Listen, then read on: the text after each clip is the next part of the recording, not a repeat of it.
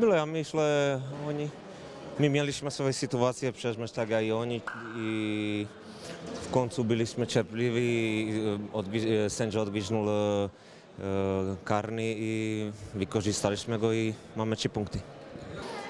Nie, ja uważam, że postawił tr- e, trudne warunki, bo nie grali złą piłkę dzisiaj. E, Naprawdę oczekiwaliśmy bardzo trudny mecz, co się potwierdziło dzisiaj, bo e, strzeliliśmy bramku, nie wiem, tam 5-6 minut do końca e, meczu.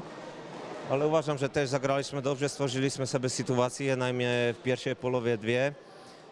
E, Niestety nie- daliśmy bramkę, ale mówiliśmy sobie w przerwie, że potrzebujemy być cierpliwi do końca meczu, że, że ta okazja przyjdzie do strzelania bramki, co się potwierdziło. Gramy dobrą piłkę, trochę, trochę musimy e, strzelać więcej bramek, bo te sytuacje naprawdę są.